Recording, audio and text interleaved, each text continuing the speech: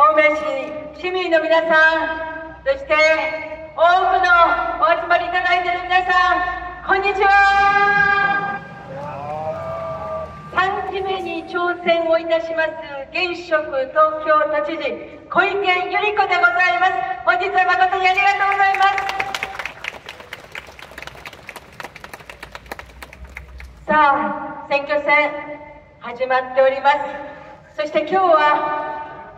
青梅その前には奥多摩の方に足を伸ばして白丸ダムやまた小河内ダムを視察をしてまいりました。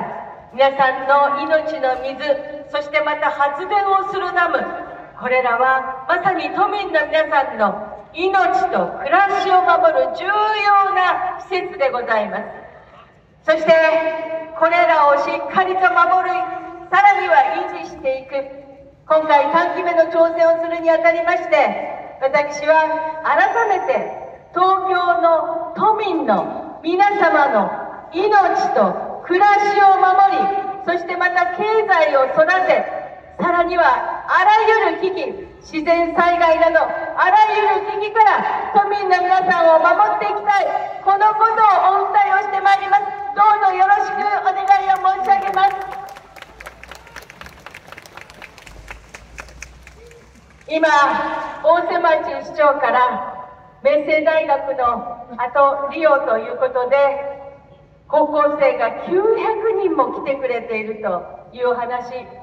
甲子園の強豪校だけになかなかこう日本中のですねいろんな意味で注目をされているところでございます。900人の若者がこの青梅に来る。それだけで町の活性化がうーんと力がつくじゃありませんか。皆さんいかがでしょうか。青梅市。青梅インターもできてそしてこの西多摩地域における中核都市としての役割を担っていただいています。そして青梅がさらに活性化することはこの多摩全体にいいいい事例を作っていく大瀬町体制でまたしっかりと議会の皆様方にお支えいただいて青梅市新たなスタートを切ったというところでございます。青梅市にはさらに期待をするところ大でございますが市民の皆様はいかがでしょうか？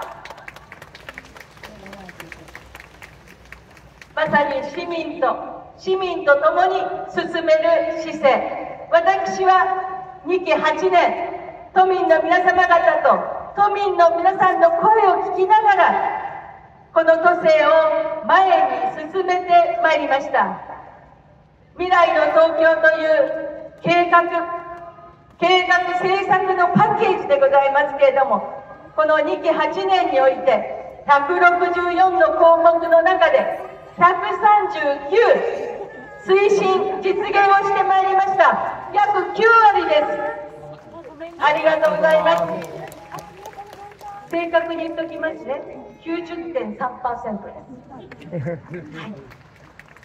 そしてそのことを皆さんで実感していただくようにこれからもこう種をまいてきた。そこに花を開かせていきたい。それを3期目にしていきたいと思います。そのためには皆さんの力が必要なんです。どうぞよろしくお願いを申し上げます。1期目で財政の見直しをいたしました。もう長年当たり前のようについていた予算を見直しをして周期終わりの日を設けることによって毎年約1000億円の財政の見直しをいたしました。8年間やってきてるわけですから合計いたしますと8100億円に上ります。皆様方の大事な大めいただいている税金をより有効に使っていこう、より有効に生かしていこうということで、財政の健全化、行財政改革を進めたのが1期目、情報公開も進めました。そして2期目、2期目を迎えようとした時に、ちょうどあのコロナが襲ってまいりました。あ本当に皆さんにはいろいろとご不便をかけることも多かった。でも皆さんがご協力していただいたからこそ1200日、最終的にはコロナでお亡くなりになる方々、この世界中の中において、特に OECD の諸国において、38カ国でございますけれども、そのうち100万人あたりの亡くなる方をいかに低く抑えるかを戦略的に考え、結果としてニュージーランドの次に低い100万人あたりのお亡くなりになる数で抑えることができた。改めて皆様方に感謝を申し上げるとともにお亡くなりになられた方々には心からご冥福をお祈りをしたいと思います。そして皆さん覚えてますよね？その間何があったか。オリンピック・パラリンピック。しっかりと行うことができました。そしてもうすぐパリのオリンピック・パラリンピックが控えて3年しか間がありませんでしたからまああっという間でございます。ちなみに来年またスポーツの祭典をここ東京で行います。デフリンピックと世界陸上でございます。デフリンピックはまさに2020パラリンピックのレガシーを生かしてまいります。街の段差そしてまたあの歩道と車道との間の段差をできるだけ取るようにした。そしてまた例えばホテルのですね入り口あの部屋の入り口のこの間口を少し広げるようにしてもらいました。これによって車椅子でも入りやすくなる。デフリンピックというのは用意ドンの音の聞こえない人たちが障害を超えてスポーツでしっかりと戦い抜くというそういう祭典でございます。同じくホテルでもピンポンとルームサービスを持ってきてもらっても持ってきてもらっても気がつかないわからない聞こえないわけですね。そういう時には光でわかるようなそんなホテルで宿泊施設に対してのその補助をなさせていただいたところでございます。またホームドアのこれもとまず都でできること。大江戸線のホームドアはほぼ100%すでに設置が終わっております。先ほども残念ながら中央線が人身事故で止まったというニュース聞きました。私はぜひともこの JR、まあ、これは今 JR が運営しているわけでございますけれども JR の駅も一つずつホームドアをできるだけ早くつけていただくように都としても後押しをしていきたい。そして念願の複々線。これもですねこうこれまでも未来の東京の計画の中にも入れ込みながら進めているところでございます。さあコロナの間にいろんな皆様方の働き方もまた意識も変革をしてきたのも事実でございます。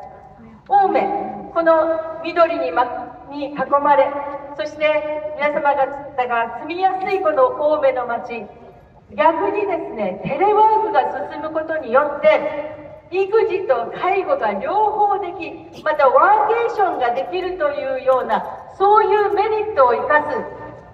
新しい市長大瀬町さんと共にですね新しい考え方によるまちづくりこれをみんなで進めていく。そのためにも都民の皆様方と共に進めていきたいと思うんですがいかがでしょうか？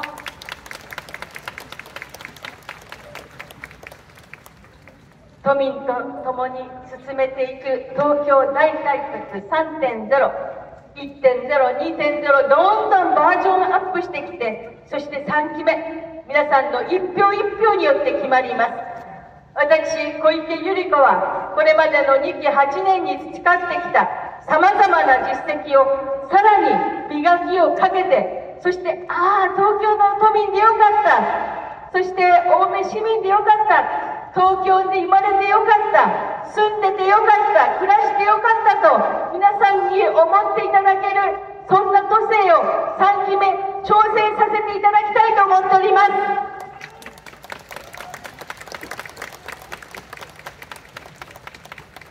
私はいつも3つの C を大切にしております。ABC の C です。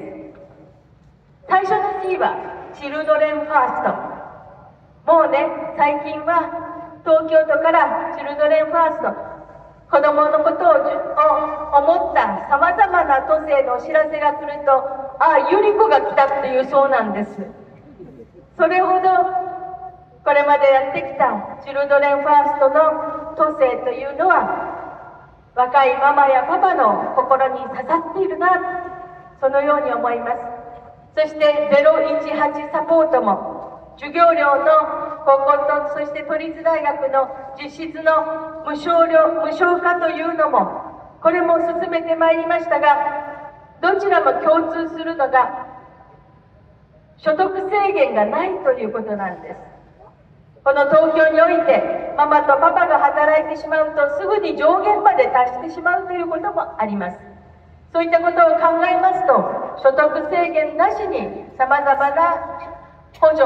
そしてサポートをするということが、より広く多くの方々に活用していただけるということでございます。えそして018サポートも毎月5000円子育てに努めておられる皆様方にとってはこれは大きな励みになる。